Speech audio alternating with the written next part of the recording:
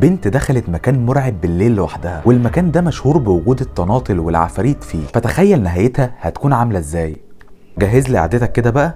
وركز معايا وما تنساش ال explore. القصة بتحكي عن بنت بترعى الأغنام والمواشي وفي يوم خدت البقرة بتاعتها علشان تاكل من الأرض وراحت هي تحت شجرة تتدرى في ظلها. ولكن وهي قاعدة غلبها النوم ولما فتحت عينيها لقت الدنيا ليلت والبقرة مش موجودة. وكان كل الناس اللي بترعى ساعتها واخدين بعضهم ومروحين. البنت كانت هتتجنن وعمالة تسألهم البقرة بتاعتها راحت فين ولكن كان الكل جاوبوا عليها ما نعرفش. فدخلت البنت قدامهم للغابة بالليل علشان تدور عليها بنفسها. والغابة دي مشهورة عندهم بوجود الطناطل والعفاريت فيها. فالناس فضلوا يقولوا لها بلاش يا بنت تخش مكان زي ده بالليل. ولكن هي ما سمعت لهمش ودخلت. فضلت البنت تدور في الغابة لفترة طويلة. وأول ما الدنيا بقت ضلمة جدا بدأت تسمع أصوات مرعبة. وكانت بتشوف خيال لحد ضخم جدا بيتحرك حواليها شمال ويمين. البنت كانت خايفة ومرعوبة وعايزة تطلع من الغابة بأي طريقة. وفعلا كانت خلاص قربت تطلع منها. ولكنها سمعت صوت البقرة بتاعتها في مكان قريب. وكان في الوقت ده لسه في راعي غنم ما روحش. وكان عمال يقول لها تعالي يا بنتي الصوت اللي انت سامعاه ده مش صوت البقرة بتاعتك. في الوقت ده لقاها فرحانة وبتهلل وبتقول له اهي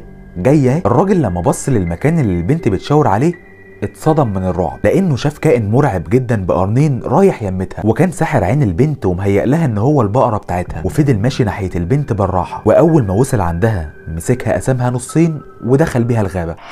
أنا عن نفسي بعتقد إن حكاوي الطنطل دي أكتر حكاوي مرعبة سواء هي حقيقة أو لأ بس هي مسلية. وكده خلصت.